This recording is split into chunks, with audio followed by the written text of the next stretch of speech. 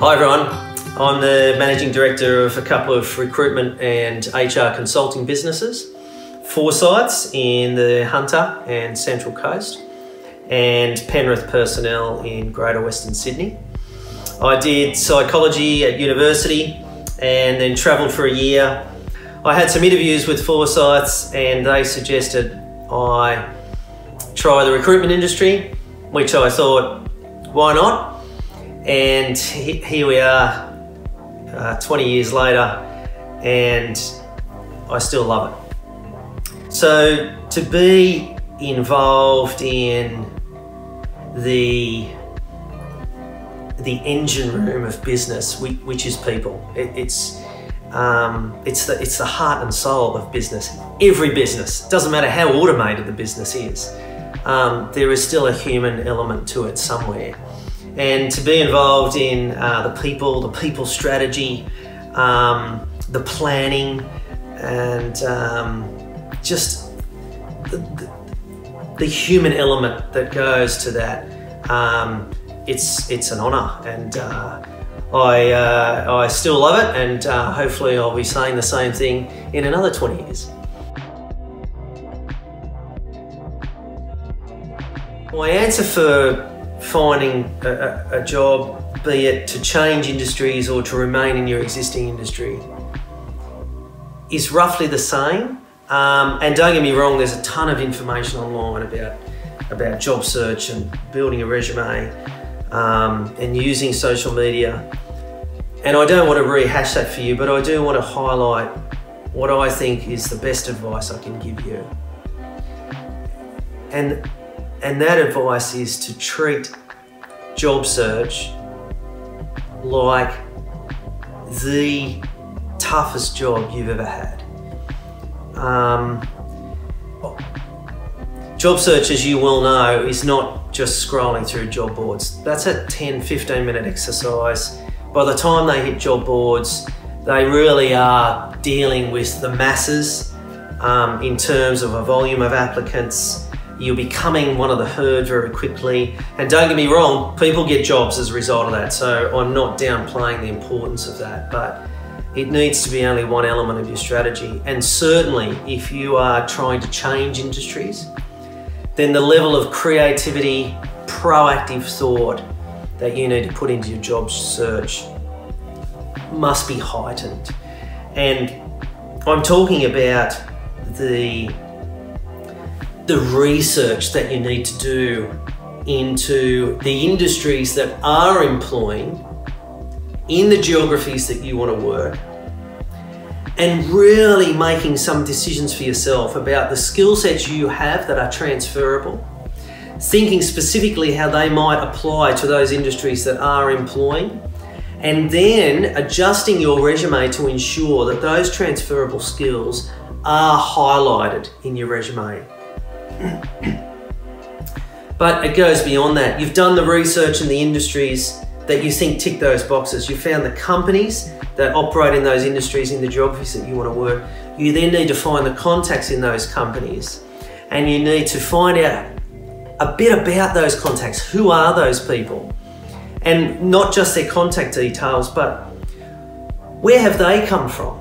What's their background? And have you got a network that may, even if only two, even if it's two, three, four degrees of separation, have you got a connection there that might enable you to more personally connect with that person? So, didn't your neighbor once have a girlfriend who used to work at that company that, based on my research here, is, an in, is in an industry that seems to be busy right now and I think my skills might apply.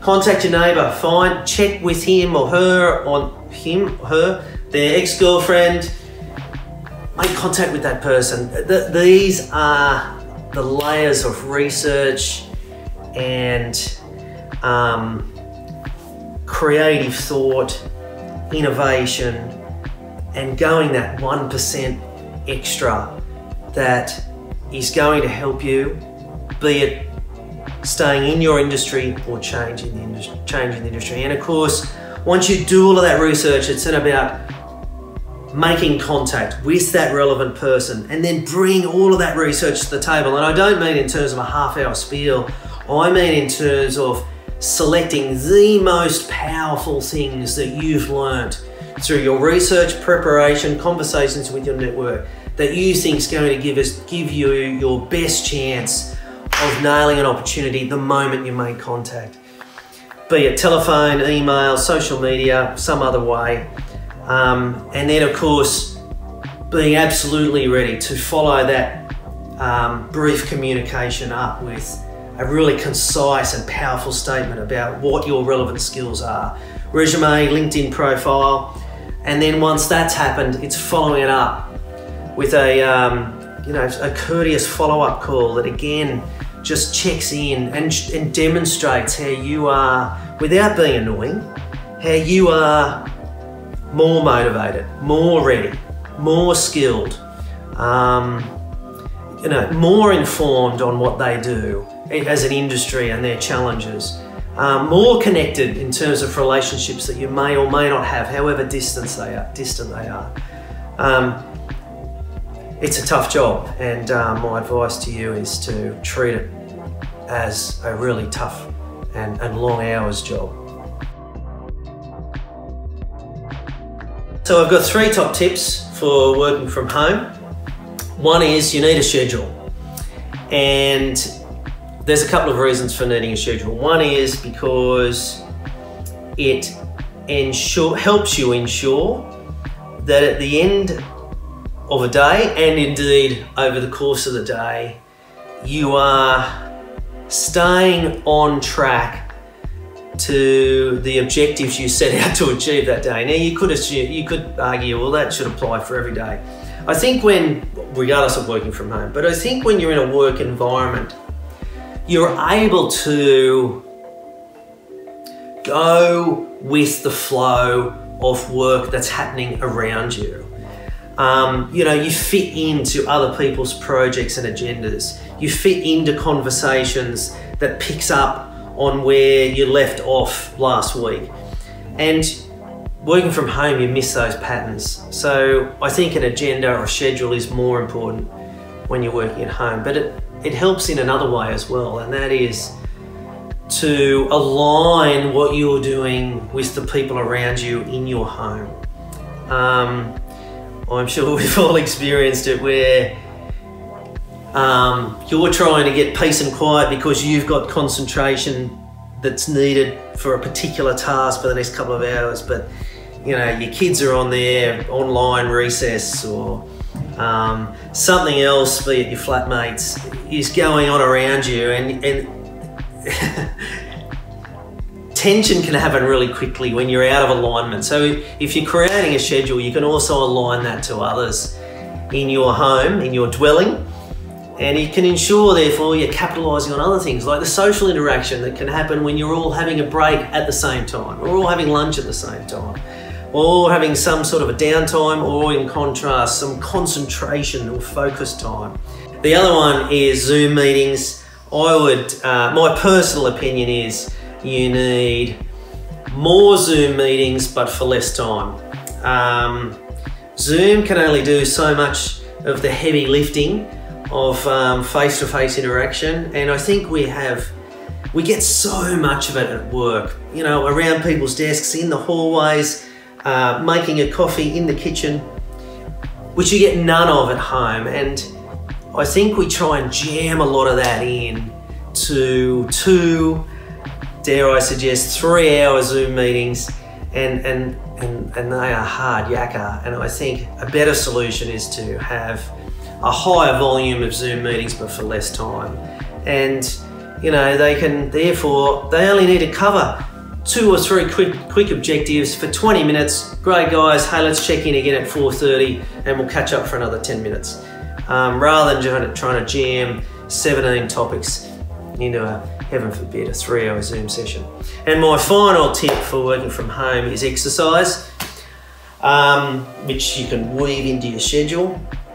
Um, for me personally, balance and, and productivity um, includes exercise, so prioritizing that, even when you are working from home, is important.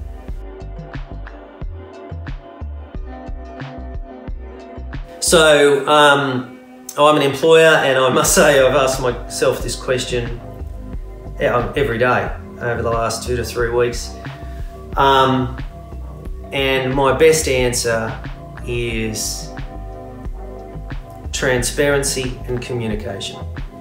Uh, we were we, we've been very fortunate that we have a a, a working a culture style um, that is already very transparent and, and communicative. But um, don't get me wrong, we raised that up a notch in the last two to three weeks. But that was a really great springboard for us to be able to do that. And I, I mentioned in one of my recent LinkedIn posts that I communicate with our employees like I communicate with my accountant. And that's not for a moment to suggest that that's about labouring them with whatever you know stress or or detail that is unnecessary for them. It's it's far more positive and constructive than that, and it's it's about um, giving our employees, to the best of my ability, the visibility and control that they need to feel a little more secure in what the future could look like, and as importantly, where they fit in that story and, and what is, is about what they do that can give us every chance of success. Um, so, transparency and communication.